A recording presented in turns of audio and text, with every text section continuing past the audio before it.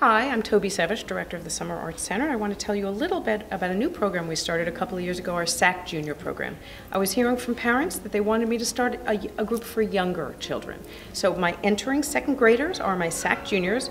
They travel as a group and they have dedicated counselors specifically to them.